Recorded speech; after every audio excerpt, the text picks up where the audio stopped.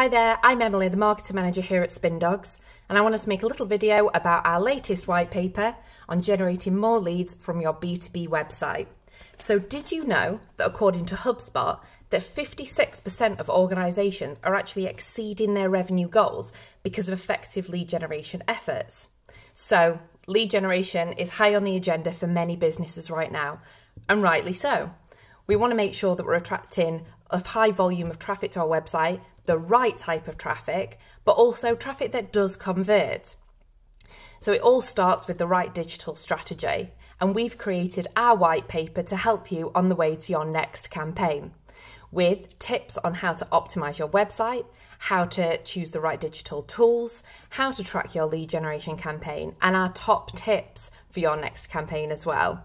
So remember, it's all about quality and not quantity.